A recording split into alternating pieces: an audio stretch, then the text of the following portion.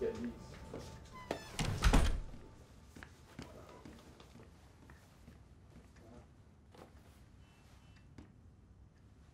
You know what? What? I don't actually think I've got any drinks in.